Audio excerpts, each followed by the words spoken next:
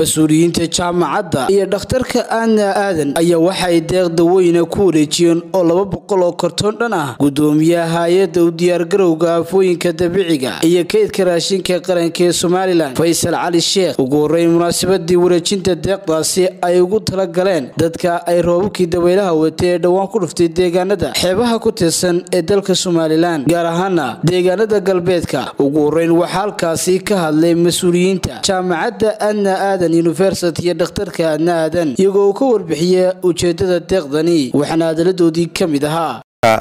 Waxaanu la joognaa hay'adda u diyaargarowga aafooyinka iyo kaydka raashinka qaranka oo aanu ku wareejinayno raashin kooban oo laba boqoloo kartoon ah oo raashin diyaarsan ah labadaa boqolee kartoon kartoon walba waxaa ku jira afar iyo toban kiilo.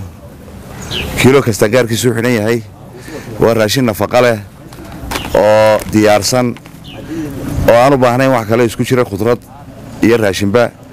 Oo wax weyn ka taraya nafaqada dadka barakacay waa contribution aanu kaga qayb gelayno dadka aafada dhibaatada ka dhacday xeebaha dalka. Waxaanu ku wareejinaynaa marka hay'adda.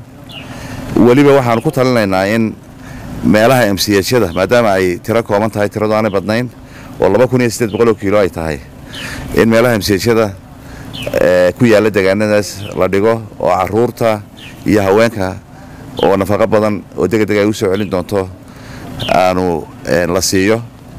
Mana noqonayso insha allahu tii ugu dambaysay deeq ah ayaanu bixinno. Annagoo ka wakiila jaamacadda iyo isbitaalka aadna aadan ugu dambayn waxaa deeqdaasi uga mahad celiyey gudoomiyaha hay'adda u diyaargarowga afooyinka dabiiciga ee kaydka raashinka qaranka ee somalilan faysal cali sheekh waxaana hadaladiisii ka mid ahaa. Celinaynaa cisbitaalka adna iyo jaamacaddeedaba oo runtii deeqdan soo gaadhsiiyey dadkii dhibaatadu ay ku dhacday ee dhulka xeebaha duufaantu ay kaga dhacday. Waxaanu leenahay jazaakum allahu khayran annaguna waxaanu ballan qaadanaa insha allahu kariim meelaha la tilmaamay dadkaa jilicda san iyo carruurta ah inaannu degdeg u gaadhsiino aad iyo aadna runtii waa ugu mahadsantihiin waana qayb fiican waana idinka filaynaa runtii intaa iyo in ka badan. Xamse jaamac xuseen star t v. Hargeysa